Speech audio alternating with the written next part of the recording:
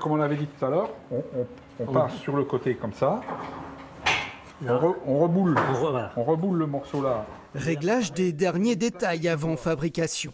Ces bénévoles s'apprêtent à transformer ces planches de récupération en paires de ski. Le but après, c'est de faire une course à ski, une course par équipe. Sur chaque paire de ski, il y aura trois personnes, deux hommes et une dame au milieu, quatre équipes, et on va faire un petit parcours. Euh, bah, celui qui arrivera le premier aura gagné. Voilà. Voilà. Presque interville, exactement. Dans ce hangar, ces passionnés s'en donnent à cœur joie. Depuis des mois, ils travaillent pour fabriquer jeux, manèges et décors. À l'étage, les femmes s'affairent elles aussi pour confectionner les costumes entièrement à la main.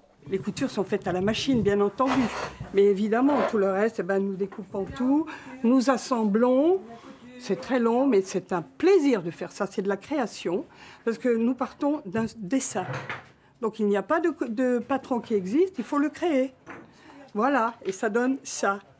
Après trois ans d'interruption à cause du Covid, les médiévales vont faire leur grand retour cet été, avec une formule renouvelée, mais toujours aussi riche. Il y aura des cracheurs de feu, c'est très joli la nuit, dans le théâtre du Réal.